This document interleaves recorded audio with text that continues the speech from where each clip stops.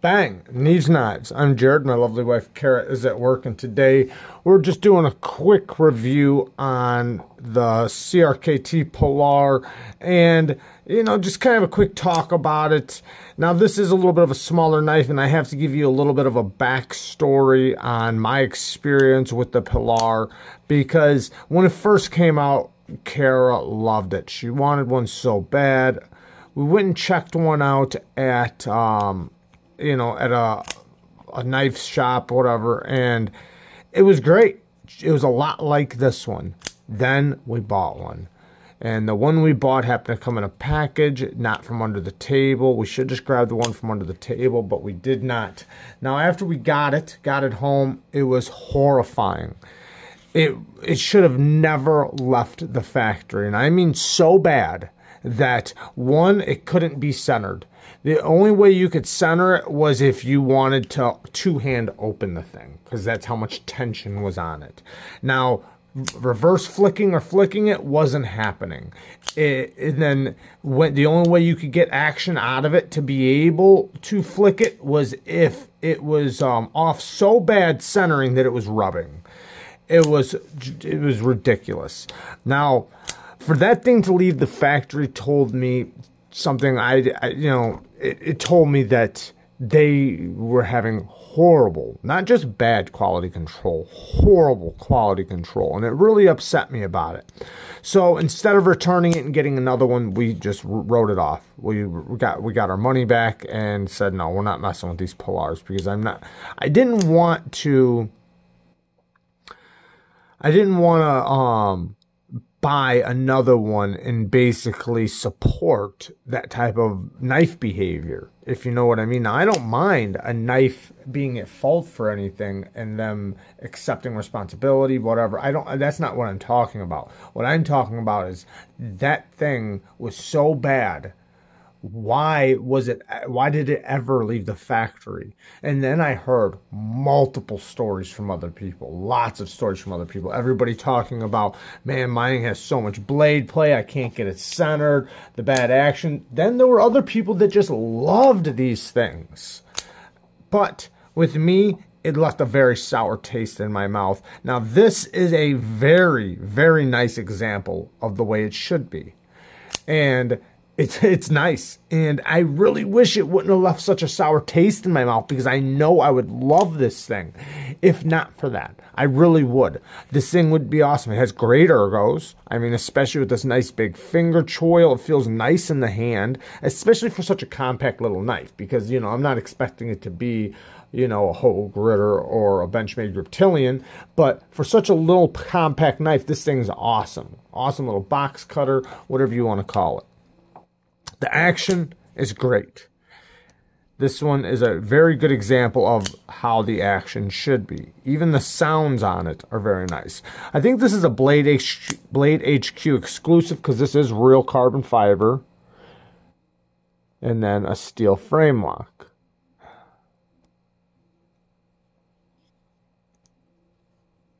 This one is an S30V.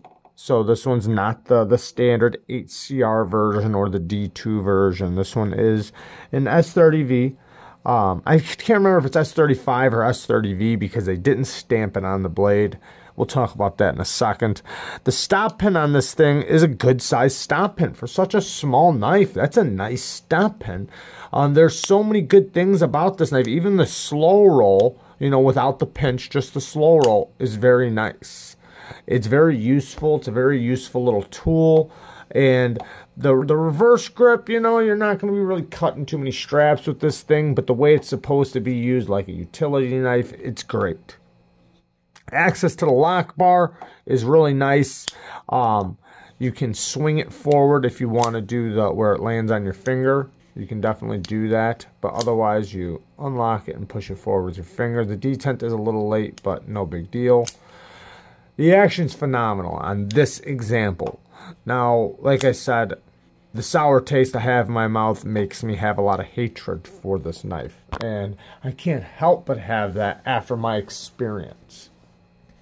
Now, I know a lot of people had great experiences with it, so I don't want to take that from them.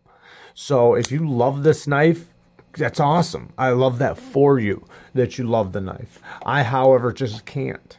Um, after the experience I had and hearing so many experiences from other people, I, I almost despise this knife. And I don't want to despise this knife, but it was CRKT's fault, not mine. so, and this is the thing with CRKT, that wasn't the first time. Many, many, many times have I gotten a CRKT knife that was just horrible. I mean, the fit, the finish, things were loose, um, parts failing, um, just so many different things. Now, I like CRKT and I love their designs. I think CRKT has some of the best designs out there, um, possible. You know, that's arguable, but I'm not saying that they are the best designs. I'm just saying they have amazing designs out there that could be done so well. Like even the Razel. I love the, the CRKT Razel. Love that knife. But that was another example of a knife that they just did wrong. There were so many things they could have done right. It rubbed, um, just lots of different things. Um, but I like the knife still. And I even used it as a work knife for a long time. As a beater. I still got it, still use it, but you know, it just is one of those things where it was never perfect.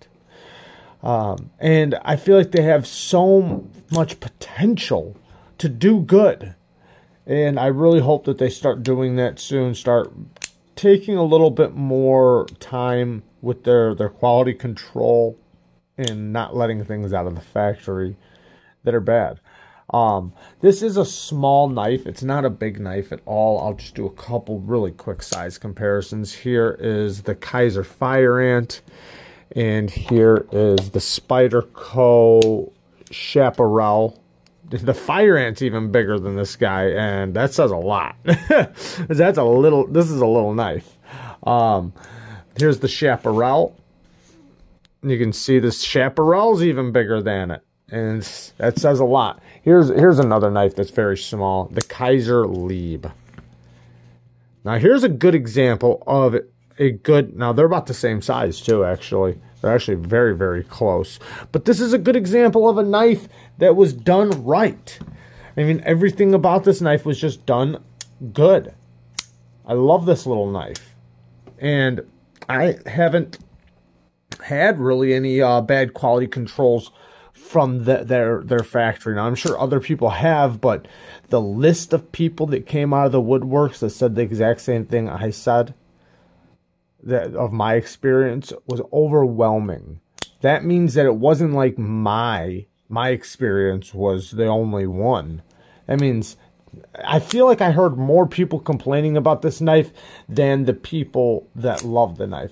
Now, some of the knife reviewers out there, right? And I'm not calling anybody out. I'm just saying some of the knife reviewers out there that possibly got one could have possibly gotten one from the factory when they knew they were who they were sending it to. I don't know. Um, and maybe sometimes they just bought one and got a good example. Because I know there were a lot of people that got a lot of great examples of this knife. But after you get one as bad as I did, it's hard to go back on that. It really is. It's hard to take that back. And I wasn't willing to try it again. But after getting this one in hand, I can see why so many people liked it. I really can. This one is a great, great example. Amazing little knife. Um, if they were all done like this. You know what else I feel like? And I'm not a knife maker, but I feel like this wouldn't be hard to get right. it's pretty basic. I mean, I don't know. Maybe maybe I'm just talking crap at that point, but um I mean I don't know. Cool little knife, man. I, I could see so many people really loving this little guy. And they also have a bigger version with a flipper. I think it has a flipper. Yeah, bigger version. I'll be honest, I haven't paid much attention to it after what happened to me. It, like I said, it left a very sour taste in my mouth. And then I seen everybody, everybody showing these things on their channels. Everybody was showing these. Um, and yeah, and I'm not trying to stir anybody away from one. I would just recommend that if you're going to buy one, you either buy it, get it, and then check it. If it doesn't work out, return it right away, get your money back. And if you have a if you have the opportunity to go to a knife shop and look at one at a knife shop, go to the knife shop, check it out, test it out, and then see if you like it. And if you do, buy that one. Don't do what I did and look at the one under the counter and then buy a different one from a package. Um, there are a lot of companies that do sell parts for these um, aftermarket parts, so you can get aftermarket scales. Um, there's a lot of different versions of this, meaning like, well, not a lot. There's the big one, the small one. There's different. There's ones in a couple different steels. There's like an HCR. There's a D2 version like I said, the smaller, the bigger, and then there's different uh, materials. Like I said, this is a Blade HQ exclusive, an S30V or S35VN, and that's another problem. Why didn't they label this thing? I mean, they put all these markings all over this thing, and I like Vox Designs, just so you know. I do like Vox Designs. I love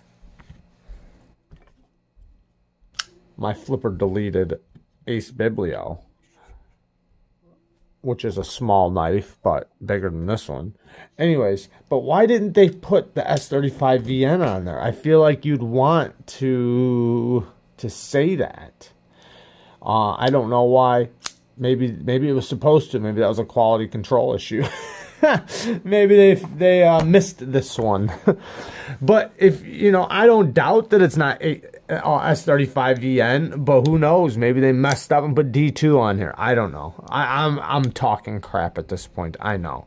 Um, I'm sure it's S35VN. I'm just joking around, but it does have a reversible pop, pocket clip from tip up to tip down, but not or not reversible, I should say. It's reversible from tip up to tip down, but not reversible from left to right. Cool little knife. There you guys go. Sorry for complaining so much. I love you guys. Peace.